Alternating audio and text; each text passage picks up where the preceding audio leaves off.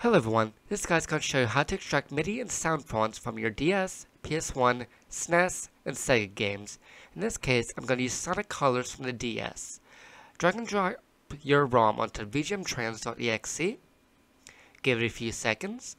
Over here is all the audio files. And over here is the MIDI files. Let me find the MIDI I want to show you. Okay, it should be right here. Reach for stars, I think it's the name. Okay, there we go. Right click it, save MIDI and sound font to, save to your desktop, press OK.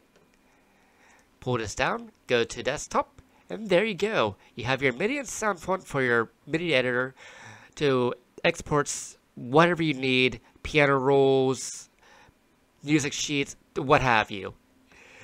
If there's anything I missed, please let me know and I'll be happy to update this to the best I can. Otherwise, ciao!